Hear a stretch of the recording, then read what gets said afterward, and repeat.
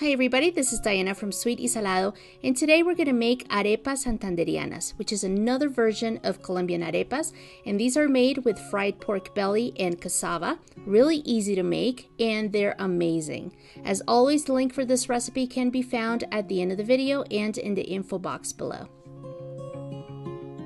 So the main ingredient we need for this recipe is yellow hominy corn, or maíz trillado or maíz peto, and this is what it looks like. We're going to place it in a bowl and we're going to take out any bad stuff that may come with it, like rocks or bugs or whatever you may find.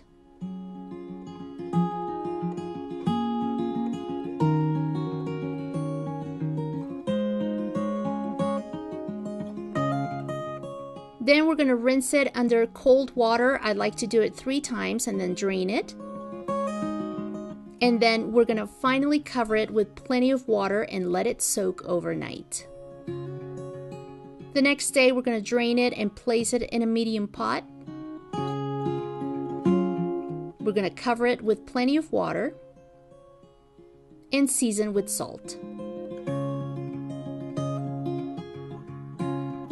We're going to cover this and bring it to a boil on high heat. And once it's boiling, we're going to bring it down to medium low and cook for about two hours or until the hominy is nice and tender. Then we're going to drain it and let it cool completely.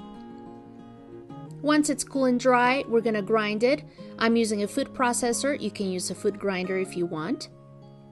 We're also going to add some cooked cassava, which is really easy to make. You just boil it for about 10 minutes in salted water or until tender.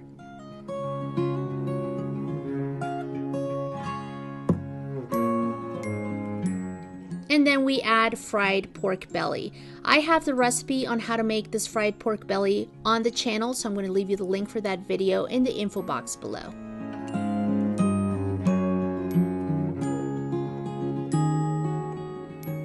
We cover our food processor and then we're going to grind this until we get a very nice and smooth dough.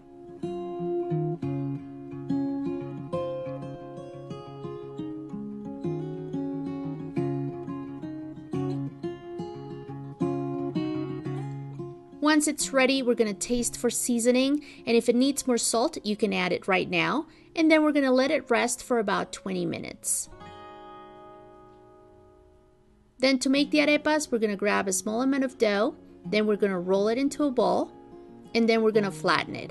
I like to use a tortilla press, but if you don't have one of these, you can flatten it by using the bottom of a dish or the bottom of a pot.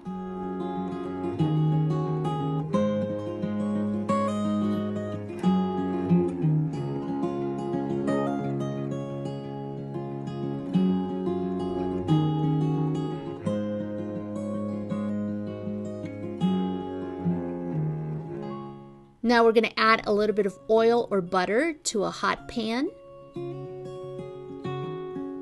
Then we add the arepas.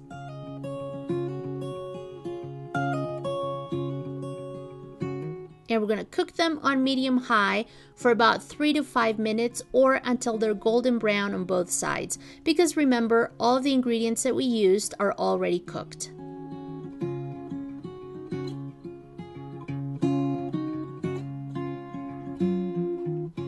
And once they're golden brown on both sides, they're ready to serve. And that's how easy it is to make arepas santandereanas. If you enjoyed this video and this recipe, please give it a thumbs up, share it with your friends, and subscribe to this channel so you're up to date with all the videos that I upload in the future. And don't forget that you can follow me on Facebook, Twitter, Instagram, Pinterest, and Google+. Thanks everybody for watching and I hope to see you next time. Bye-bye and buen provecho.